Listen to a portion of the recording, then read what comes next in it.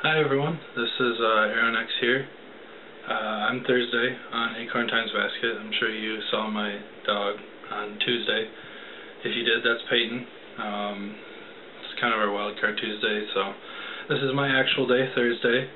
Um, I'd have to say my main feature I'm bringing to Acorn Times Basket is going to be technology, computers, video games, that kind of thing. That's really what the most I'm into. That's my career field I'm going into right now, IT services, things like that. Uh, my favorite color is gray, which is kind of boring, but fits my simple is best philosophy. Um, I suppose if I had to pick a real color that had color in it besides that, uh, probably blue. I don't know.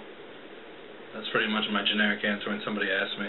Uh, current video games I'm playing would be, right now, I just went back to Guild Wars, played that when it came out, forgot about it, started playing again with everybody else on Acorn Times Basket. We're having a good time waiting for Guild Wars 2 to come out.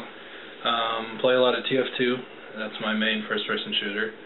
Um, but really, I'm MMORPG, any Asian free-to-play games, I get addicted to those pretty easily. I like those quite a bit.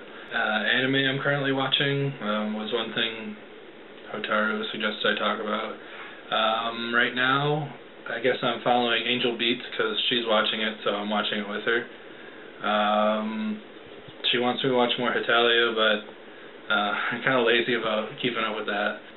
I just finished Eureka 7 for like the third time. Um, a friend of mine hadn't seen it. Uh, he's fr uh, Friday. You'll see him on Friday. Just watched it again with him. Watched it the second time with uh, uh, the Mifflin, and then the first time I watched it on my own. So I've seen that quite a few times, and if you know, there's 50 episodes, so that takes a little bit.